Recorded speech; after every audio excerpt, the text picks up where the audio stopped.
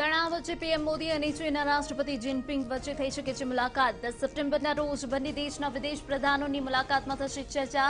અસ્યો સંમેલનમાં મુલાકાત સંભવ.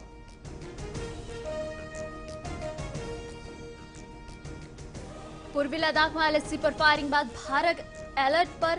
સીમા પર વધારાઈ સુરક્ષા. ભારતીય જવાનોએ આપ્યો હતો જડબાતોડ જવાબ.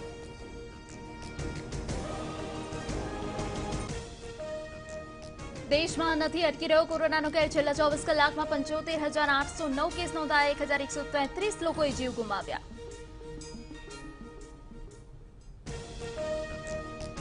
રાજકોટમાં કાળમુખો બન્યો કોરોના, વધુ સત્યાવીસ લોકોએ જીવ ગુમાવ્યા. ચૌદ દર્દીઓ રાજકોટ શહેરના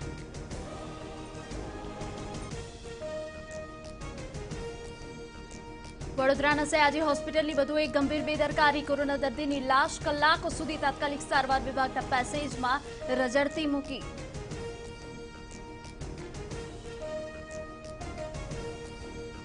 સીઆર પાર્ટી નિવડણી થયા બાદ પાટીદાર નેતૃત્વને લઈને સવાલ. રાજકોટ ખાતે કડવા લેવા પાટીદારોની બેઠક પડી. હાર્દિક પટેલ નારાજ પાટીદાર નેતાઓને ખેંચી શકે છે પોતાની તરફ.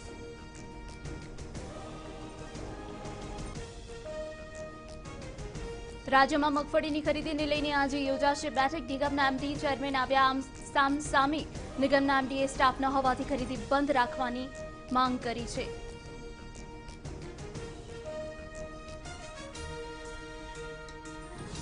ઓનલાઈન શિક્ષણ અને સ્કૂલ ફી મુદ્દે સુરત ડીઈઓ કચેરી ખાતે પ્રદર્શન. એસડી જૈનના વાલીઓ અને વિદ્યાર્થીઓએ ડીઈઓને કરી રજૂઆત. વિદ્યાર્થીઓ યુનિફોર્મ કર્યો વિરોધ. એલઆઈસીનો પચીસ ટકા ભાગ ખાનગીકરણ કરવા મુદ્દે રાહુલ ગાંધીના સરકાર પર પ્રહાર. ટ્વીટ પર લખ્યું, પોતાની નાકામી છુપાવવા મોદી સરકાર સરકારી કંપની વેચો અભિયાન ચલાવી રહી છે.